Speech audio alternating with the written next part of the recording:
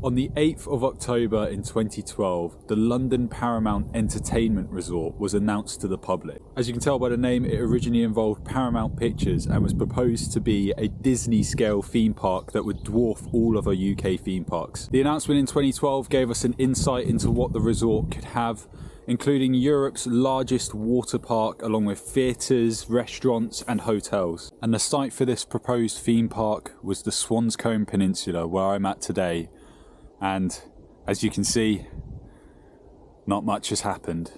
The original themed lands that were proposed for the theme park when it was announced were the High Street, the Studio, the Jungle, the Kingdom, the Isles, and finally Starport. So, some very familiar themes there from other theme parks but still unique to the United Kingdom. The proposed cost to build the theme park was £3.5 billion and it was proposed to open in 2019. But as you can tell, that did not happen. But why hasn't it happened? Well, the first delay came in the form of Natural England designated the Swanscombe Peninsula as a site of special scientific interest. The charity Buglife described the peninsula as a brownfield of the highest quality for wildlife, as well as a valued community space for walking, birdwatching, angling, and escaping the hustle and bustle of North Kent.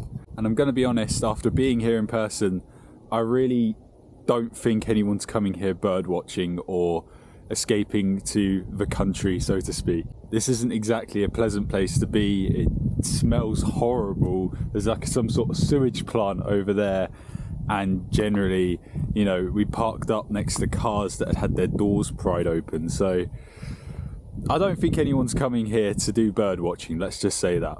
In response to Natural England designating this site as a site of scientific interest, the plans were slightly altered to only cover areas of the peninsula rather than the whole peninsula in order to protect some of the natural wildlife.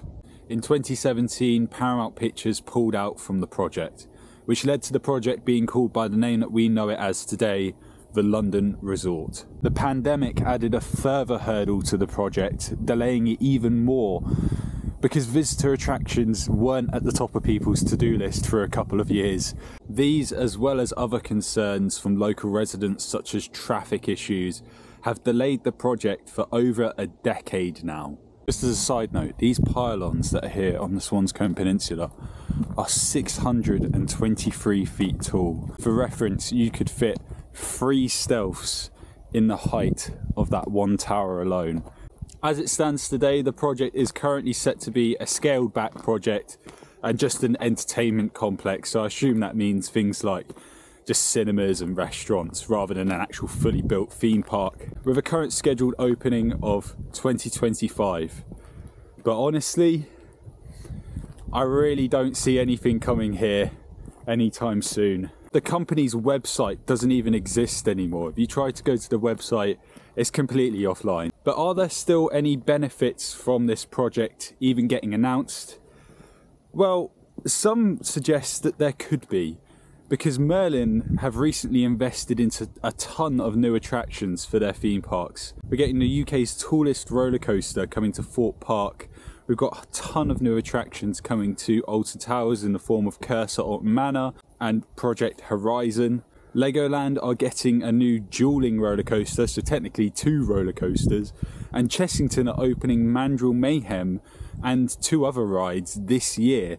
So Merlin's clearly gone on a bit of a spending spree, and some people have thought that this could be down to the London resort being a threat to these UK theme parks. But at the end of the day, that's just a theory. No one really knows for sure if that was the driving motivation behind all of that investing. It is definitely a shame that the project never got off the ground because it would have turned the world's eyes to right here, the Swanscombe Peninsula which was the proposed site of the London resort.